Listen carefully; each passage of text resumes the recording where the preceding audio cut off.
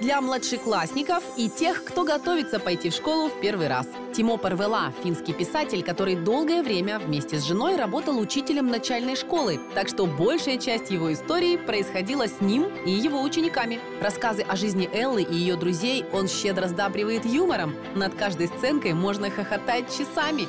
Очень смешная книга поможет пережить 1 сентября.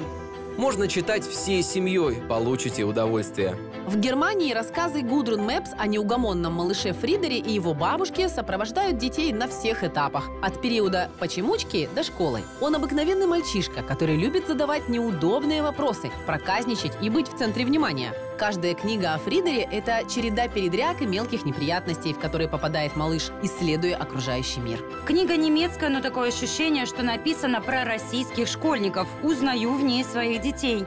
Мило и добрая книжка. Дети обожают этого автора. Книга про мистера Терапта, умеющего найти подход к самым упрямым хулиганам и забиякам, написал Роб Буйе, учитель математики и физкультуры. За этот рассказ его даже наградили медалью Ньюбери, которая вручается за выдающийся вклад в американскую литературу для детей. Теперь я понимаю, как важен учитель в жизни каждого ребенка.